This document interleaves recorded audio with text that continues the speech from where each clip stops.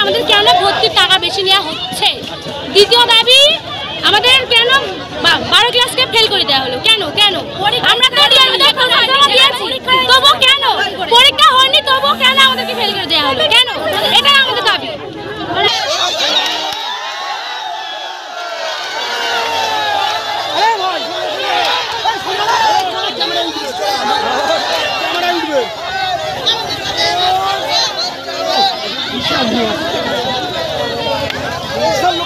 Allez, on va vous faire ça.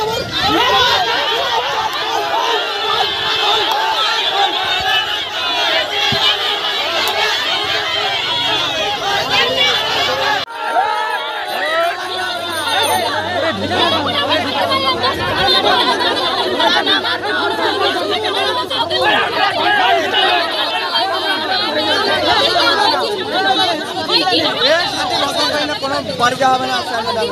ভিতরে যাবে এখন। এই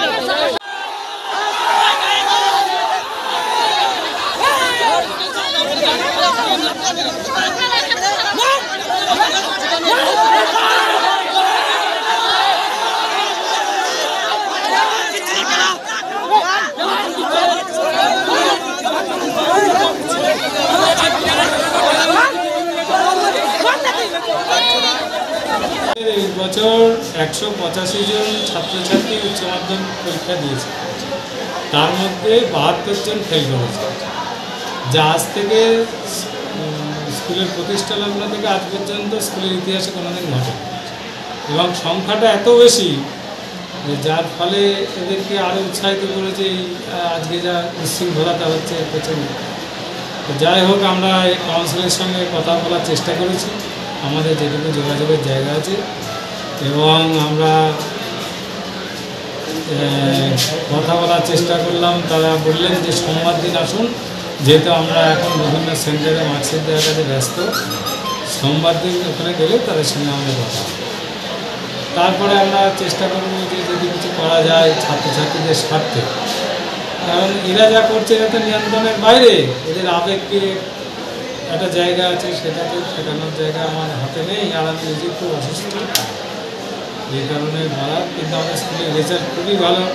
এই বছর মাধ্যমিকে প্রথম আছে আমাদের স্কুল থেকে শান্তপুর শহর এবং নাম মিলিয়ে ছশো বিরাশি পেয়েছে কৃষ্ণকুমার পাল এর দু বছর আগে গোটা শান্তিপুরের মধ্যে আমাদের স্কুলের ছাত্রী সে প্রথম হয়েছিল।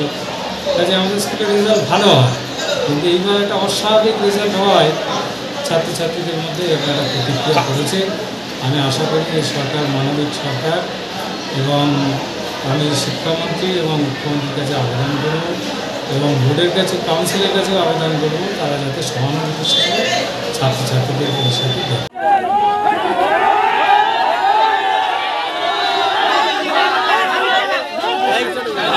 ওইসবের মধ্যে আসুন